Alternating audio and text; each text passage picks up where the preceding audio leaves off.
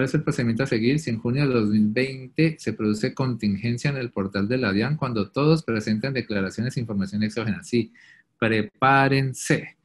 Prepárense porque eso puede ser doloroso. Como aplazaron renta y aplazaron exógena y todos entrando en junio, mi consejo es madruguen, madruguen. Además, miren, lo que les he hecho un millón de veces.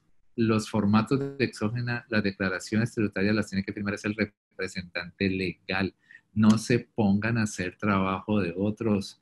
Si ustedes como contadores lo único que tienen que hacer es subir los formatos o hacer el borrador de la declaración, lleguen hasta ahí y sienten al representante legal a que firme todo, a que mire lo que va a firmar y que lo firme porque entonces ustedes son los que se ponen a apropiarse de la firma electrónica de un representante legal y ustedes son los que van a sufrir el día de las contingencias. Pues no, porque ese señor le pagan sus millones de salario, él es el que tiene que sentarse a sufrir incluso los días de la contingencia. Y así el día de la presentación de las cosas, él está en China, pues para eso todo se hace virtual. En la China también hay internet, entonces él se tiene que sacar su tiempo y sentarse y presentar lo que a él le toque presentar. Y si ese día llega a haber contingencia, pues que sea él el que se emberraque, que sea él el que se enoje, que sea él el que lleve gastritis, agriera, canas verdes, todo eso, pero ¿por qué el contador? Es que la DIAN también, como es el contador el que está sufriendo, ah, pues no, cuando sea el representante legal, y, los representantes legales pierdan millones de, de, dinero por parar sus negocios para estar sufriendo con un portal de la DIAN, ese día sí entonces la DIAN se va a poner seria. Pero entonces contadores no se apropien de lo que no les toca. Ustedes no tienen que andar cogiendo las firmas electrónicas de representantes legales. Además, representantes legales, si ustedes se arriesgan a estarle dando la firma electrónica a un tercero, en este caso un contador o una secretaria, el día que se vaya ese contador, el día que se vaya ese secretario, les toca estar cambiando las contraseñas. Y adicionalmente, si ese contador se quiere torcer, puede hacerle un daño grande al representante legal metiéndole al MISCA declaraciones de IVA y de retefuente sin pago y quedan como firmadas por el representante legal y al que van a llevar a la cárcel es al representante legal que firmó eso. Entonces no hagan eso. cada quien haga su trabajo, pero contadores por favor no se pongan a hacer el trabajo de otros, no se pongan a hacer el trabajo de otros. Dejen que cada quien que se gana su salario haga su trabajo. ¿Listo? Y eso nos, y, ellos, ellos sí pueden, por ejemplo, la contraseña para pagos a los proveedores, no la suelta el representante legal. Ah, no, esa no. El, el, Ah, no, esa no, de los pagos electrónicos a los proveedores, esa sí es de él, esa sí es de él. ¿Y por qué la de la DIAN si la suelta? No tiene lógica, él tiene que administrar todas sus firmas. ¿Listo? Entonces, miren, ¿qué pasa si se llega a una contingencia que muy posiblemente se puede dar si todos esperan hasta junio?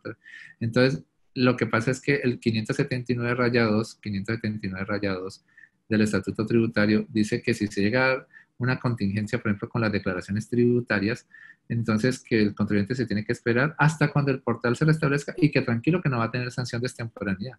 Pero en mi criterio sí tiene que tratar de hacer el pago, porque el 579 rayados lo exonera de la presentación pero no lo exonera del pago. Y el pago se podría hacer con un formulario 490 en la zona de usuarios no registrados y hacer el pago sin que se haya presentado la declaración. Pero la DIAN sacó en, en, noviembre del 2019 este concepto 28.625 de noviembre del 2019 y lo comentamos por acá. A ver, lo comentamos por aquí en, a ver, eh, este, este material, ¿sí? ustedes lo pueden leer allí. Ahí está la doctrina esa de la DIAN y salió con la tesis la de que tranquilos, que si el portal se revienta, quedan exonerados tanto de, tanto de sanción de extemporaneidad como de intereses de mora.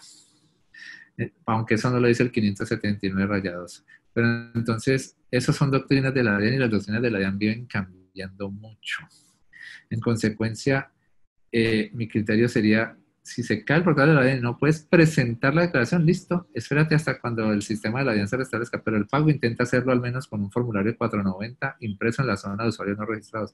En los días en que hay contingencia, la zona de usuarios no registrados, esa no se revienta y por ahí se pueden hacer los 490, que va a quedar obviamente sin la casilla del número del formulario, pero muchas declaraciones se han presentado el pago primero y luego la declaración. ¿Listo? Por ejemplo, el impuesto al patrimonio también es primero es el pago y luego la declaración. ¿Ven? Entonces, mucho cuidado, sí, pero ese tipo de cosas se pueden presentar. Y con la exógena también la resolución 11004 eh, de octubre de 2018 que regula la exógena 2019 les dice que si llega a haber contingencia, pues que tranquilos, que frescos, que no se tensionen, que se pueden esperar hasta cuando el día, hasta, hasta que la DIAN restablezca y ese día entonces ya pueden eh, hacer la presentación de sus formatos de exógena. La DIAN entonces a veces lo que ofende a los que hacen el proceso de entregarle las cosas virtualmente a la DIAN es que la DIAN se tome más de las 12 del día, más de las 12 del día para declarar la contingencia. Si el portal de la DIAN X día está malo, a las 12 del día diga está malo. Pero no, la DIAN mama gallo y son las 3 de la tarde, son las 4 de la tarde, son las 6 de la tarde y no declara la contingencia. Entonces el pobre contador que está sufriendo al fin, ¿qué? Queda en el limbo. Entonces, así no es. La DIAN, por favor, declara esa contingencia al mediodía y ya, y punto.